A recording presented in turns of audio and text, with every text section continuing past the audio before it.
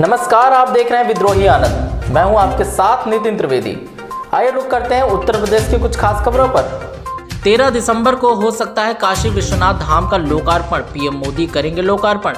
पूरे देश की नदियों के जल से करेंगे जलाभिषेक। देश के 11 ज्योतिर्लिंग के अलावा बड़े शिवालयों पर लगेगी स्क्रीन। लेजर शो के ज़रिए विश्वनाथ धाम निर्माण की सुनाई जाएगी कहानी। 19 नवंबर को डीजीपी सम्मेलन का शुभारंभ करेंगे। अमित शाह प्रधानमंत्री भी होंगे शामिल। उत्तर प्रदेश में पहली बार हो रहे पुलिस महानिदेशकों व पुलिस महानिरीक्षकों के वार्षिक सम्मेलन की तैयारी अपने अंतिम दौर में है। यह पहला मौका होगा जब प्रधानमंत्री डीजीपी मुख्यालय में किसी आयोजन में भागीदारी करेंगे। सोनिया गांधी के आवास पर यूपी चुनाव को लेकर बड़ी बैठक। सोनिया गांधी से मिलने पहुँचे सचिन पायलट। राजस्थान के साथ यूपी के चुनाव हालात पर हुई चर्चा। सचिन पायलट को यूपी में मिल सकती है बड़ी ज़िम्मेदारी। राजस्थान में सियासी हलचल जारी। A I M I M chief Owaisi ने जिन्ना विवाद पर अखिलेश यादव को दिया जवाब। कहा, अखिलेश को बताना चाहता हूँ, हिंदुस्तान को तोड़ने वाले का नाम जिन्ना था। जिन्ना की वजह से हुआ था देश का बंटवारा। कांग्रेस पर हमला बोलते हुए कहा, कांग्रेस ने बिहार में मुसलमान को सीएम नहीं बनने दिया। आम आदमी पार्टी की लखनऊ में 19 को रोज़गार गारंटी रैली। संबोधित करेंगे आम आदमी पार्टी के संयोजक अरविंद केजरीवाल।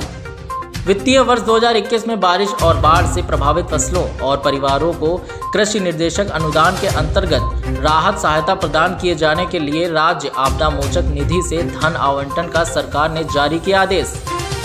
दक्षिण भारत के मंदिरों में दर्शन के लिए रेलवे चलाएगा स्पेशल ट्रेन 27 नवंबर को सूबेदारगंज रेलवे स्टेशन से विशेष ट्रेन का होगा संचालन। स्लीपर क्लास ट्रेन में प्रति व्यक्ति बारह हज़ार दो सौ पचासी रुपए में बारह रातें तेरह दिन कर सकेंगे यात्रा।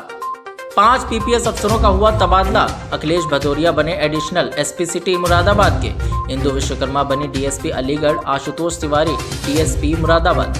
वहीं मनीष कुमार यादव डीएसपी एयरपोर्ट सुरक्षा प्रयागराज और आलोक अग्रारी बने डीएसपी मुरादाबाद। यूपी के दो मंत्रियों की केंद्र सरकार ने सुरक्षा बढ़ाई। ब्रजेश पाठक को जेट कैटेगरी की सुरक्षा मिली। वहीं डिप्टी सीएम दिनेश शर्मा को जेट प्लस सुरक्षा मिली। लखनऊ में कैरियर ग्रुप ने की नए व्यापार की शुरुआत। युवाओं को मिलेगा रोज़गार का बेहतर मौका। रियल एस्टेट में आशीष पटेल ने नई ऊंचाई हासिल करने के बाद अब कैरियर ग्रुप द्वारा नए बिज़नेस की शुरुआत की। इस व्यापार से हासिल हुई कंज्यूमर पावर को रियल एस्टेट के व्यापार में भी इस्तेमाल करेंगे। रियल इस्टेट का मेन व्यापार हमारा है कंज्यूमर को सुविधा देना, कंज्यूमरों के लिए अपने एक नया प्लेटफॉर्म तैयार करना, ताकि हमारे पास जो लोग आज के समय इंडिया ही नहीं, अलग कंट्रियों से भी लोग हमारे साथ जुड़ रहे हैं। सिर्फ़ और सिर्फ़ एक विश्वास, एक भरोसा है ताकि और भी जो सेक्टर हमारे आ रहे हैं, उस, उसी विश्वास के साथ उसमें भी लोग सपोर्ट करें हमारा। इसका बिल्कुल सेक्शन अलग रहेगा। इसके रियल इस्टेट से एक अलग सेक्टर दिया जा रहा है। इसकी ऑफ़िस भी अलग सेक्शन में दी जा रही है। सब प्लेटफॉर्म लेकिन कैरियर ग्रुप का ही रहेगा। बैनर जो है, कैरियर ग्रुप का ही लगेगा। लेकिन सिर्फ़ और सिर्फ़ इनका प्लेटफॉर्म जो है कंपनी का काम करने का तरीका जो है, थोड़ा सा इसको अलग रहेगा, क्योंकि ये ई कॉमर्स में आ जाता है और रियल इस्टेट में आता है। इसलिए हमको इसको डिवाइड करना कंपलसरी पड़ गया है। जब तक देखिए, हमारे यहाँ, हमारे देश में जब तक युवा काम नहीं करेंगे, हम हर एक युवा को इंडिपेंडेंट बनाना चाहते हैं। ताकि अगर जैसे कोई आदमी पढ़ाई कर रहा है, कोई स्टूडेंट पढ़ाई कर रहा है तो अपने घर वालों के ऊपर डिपेंड रहता है। लेकिन ऐसे जो युवा हैं जो आज के समय में अपनी मोबाइल चलाते हैं इधर उधर अपना कहीं ना कहीं टाइम वेस्ट कर रहे हैं, उनको एक ऐसा प्लेटफॉर्म मैं दे रहा हूँ ताकि वो अपनी ज़रूरतें, अपनी ज़िंदगी, अपनी लाइफ स्टाइल खुद अच्छी कर सकते हैं। लखनऊ के ट्रामा सेंटर में कैजुअलिटी डिपार्टमेंट के बाहर लगेगी स्क्रीन अस्पताल में स्क्रीन पर खाली बेडों की होगी जानकारी। रोज़ाना पहुँचते हैं 500 तक मरीज़। ऐसी ही तमाम खास खबरों को देखने के लिए बने रहे हमारे साथ और देखते रहे विद्रोही आनंद।